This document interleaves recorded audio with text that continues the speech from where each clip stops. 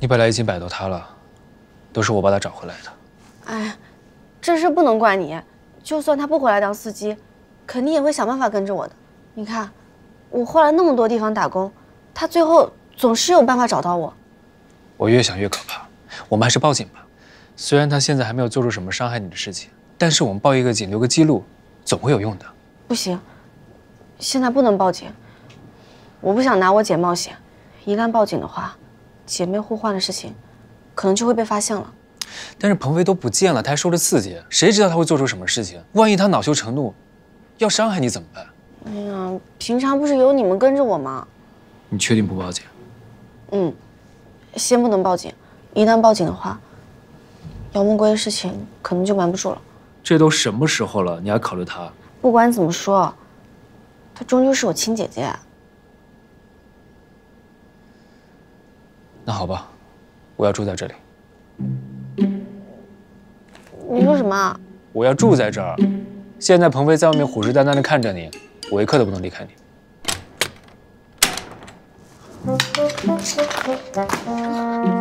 生日快乐！哎呦，紧赶慢赶的，还好没到十二点。爸，啊，你你怎么回来了？不是说明天才回来吗？看你说的，我宝贝闺女过生日，我能不过来陪吗？哎不，你眼睛怎么了？哭了？啊，就因为爸爸没来陪你过生日啊？哎，不是吧？我是没休息好，我有点肿。啊。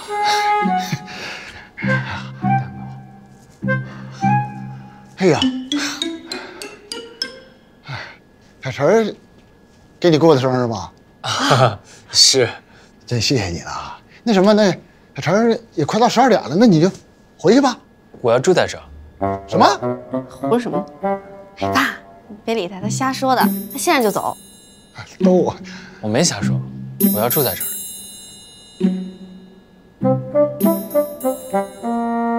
你试试。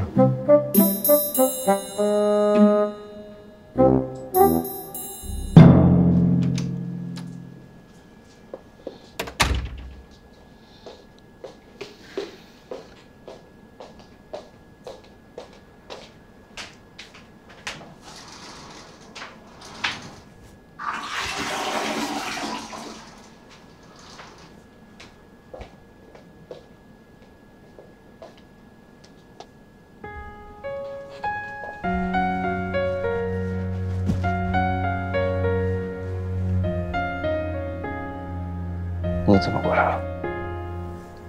我有点睡不着。你不是也没睡吗？你像地雷一样的声音，我怎么可能睡得着？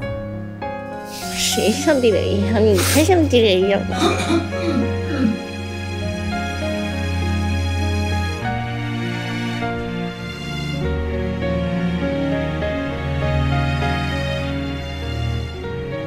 郑博，嗯。你说这件事情能解决，是不是？只要我跟姐姐好好把这件事情说清楚，这事儿就算结束了。嗯，一切都会好起来的。嗯，我也这么想。只要这件事情解决了，我就没什么好害怕的。